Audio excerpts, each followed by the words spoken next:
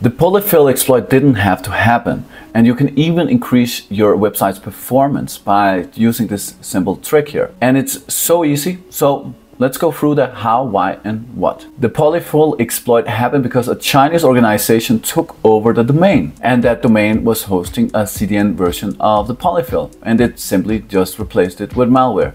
It was so easy and it affected millions of websites and probably billions of people. There's two straightforward ways that we can avoid this in the future. First, when you include your scripts, you can put an anonymous and an integrity tag with it. This makes sure that the browser checks the integrity of that script and if it doesn't fulfill that, it will simply stop working. This is terrible because number one, it's actually not that anonymous. And number two, the website can still continue to track you or your users. And there's also another problem that I will address a little bit later. The solution I go with is contested.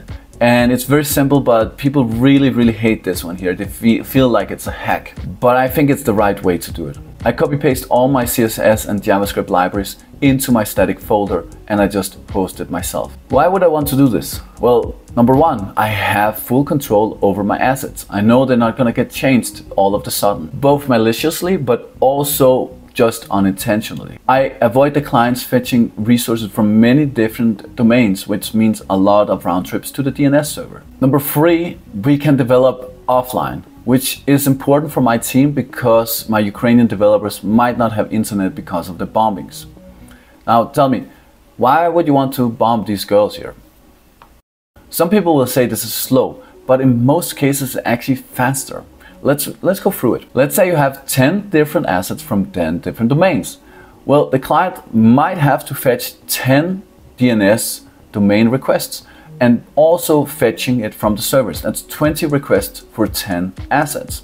And that can be pretty slow. Some of them might have been cached, but most likely not all of them. Now what I do instead is I just set up my own Bunny CDN and this way they only have to do one fetch to my DNS and then it's spread all across the world so that they will get it in matter of milliseconds. And you can get a little bit nasty here because when you're hosting and you're controlling all your assets, you can also merge them together. So let's say you have two scripts that you're using. Well, I'll just merge them together and um, then just serve that because a lot of times the slowness is not in the amount of megabytes that are sent, but the amount of requests that you have to.